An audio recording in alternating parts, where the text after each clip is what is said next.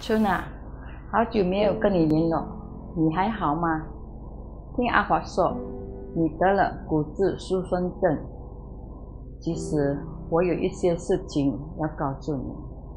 虽然我们在这几年一起教化自我，而且过着健康活跃的生活，但是我曾经有背痛和驼背的问题。我没想到这些习惯会导致我得了骨质疏松症。记得那天，我劝你不要再抽烟。其实我根本没有资格劝说你，因为我自己也有吸烟，我有背着你偷偷吸烟。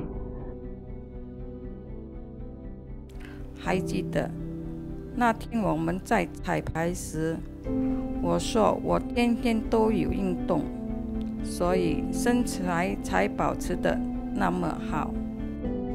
其实那是骗你的，我从来没有把食物吃完，因此常常的吃胃痛的药，结果我患上了骨质疏松症。虽然你一直把我当好朋友，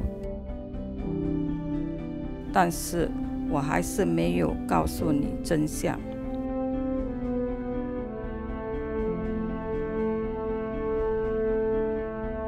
我看你一天比一天弱，但我还是没有阻止你。不要气馁，我们还是能克服一切的。只要坚持下去，就一定可以战胜病魔。到现在还没有医治的方法，但我们还是有办法能进行调养。春啊，看着我，也在抽烟。现在戒烟还来得及，你也要开始吃得健康一点，这样才可以健健康康。吃饱后记得吃药，这样才是叫做为自己的身体负责任。最后上下楼梯时，让别人扶着你，要学习接受别人的帮助。你随时可以依靠他们，千万别认为自己没用。